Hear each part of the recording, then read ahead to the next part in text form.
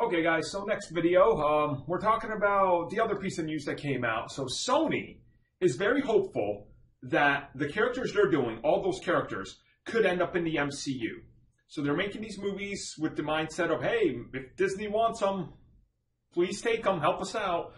So that's the that's the uh, thing, right? Um, the the reason that the whole Marvel deal happened with Sony and Disney was because Spider-Man had nowhere to go.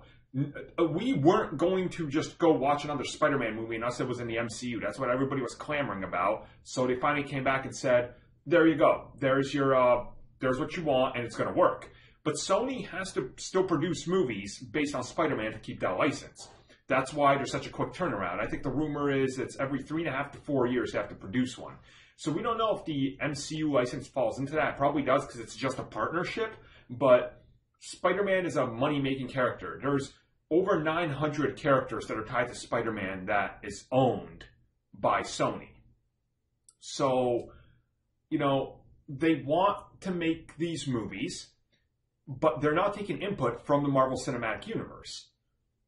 So why would Disney want to accept it, right? There, there's no reason for them, especially if you accept a couple and then what if they're terrible? You know, like that already sets a bad tone, a bad precedent for them. And especially that Sony doesn't seem to know what they're doing with these because they keep going back to the drawing board with many of them. So it's like, uh, that's kind of problematic in the long run because they're not, they're planning ahead. They're looking forward, but they're not looking forward in the right way. Not the way Marvel Studios did. They're doing it more like DC, which is not what people want. That's not what you want to be, you know, kind of compared to. And when you think about it, it's like if Venom is good and it doesn't have Spider-Man, you could probably work that in there. It's very workable. It's going to take a little bit of stretching and changing, but that'll work. On the other hand, Silver Sable and Black Cat, both of those can work. Morbius can work. Kraven can work.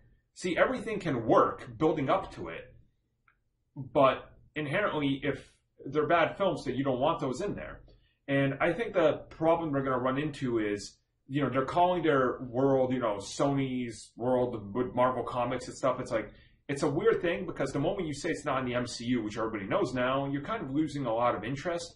And don't get me wrong, Venom could end up being a great movie. That's fine. I'll take it. But once again, it's not part of the vision that Marvel has set. So you're kind of going back to, you know, drawing board on there. And Venom taking place, you know, San Francisco, if it's set in the MCU, then where's Scott Lang and Hank and everybody? Like, when's it take place? So you're just running into more problems that I don't think Marvel Studios wants to involve other people's problems and continuity errors into their own.